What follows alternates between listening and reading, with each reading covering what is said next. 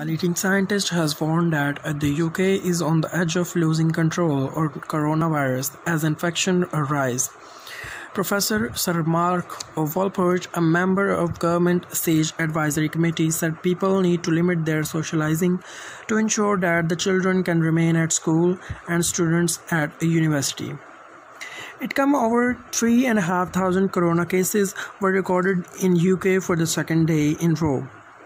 This report from our health correspondent uh, Lauren Moss.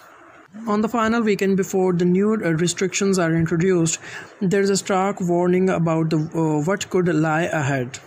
Three and a half thousand more coronavirus cases has have been diagnosed for the second day in row.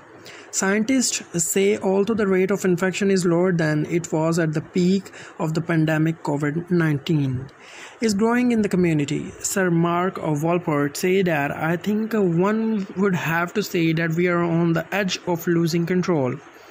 And you have only got to look across the channel to see what's happening in France and what's happening in Spain and the figures in the UK on 5th September it was about 1800 people identified with the infection, but on 11th of September, it was three and a half thousand people that are infected by infection.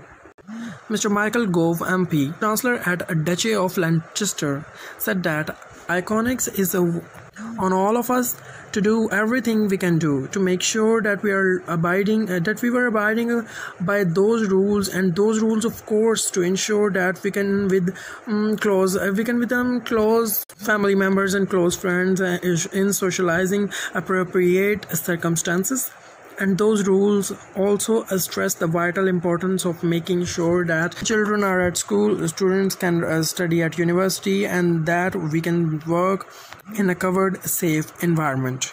Thank you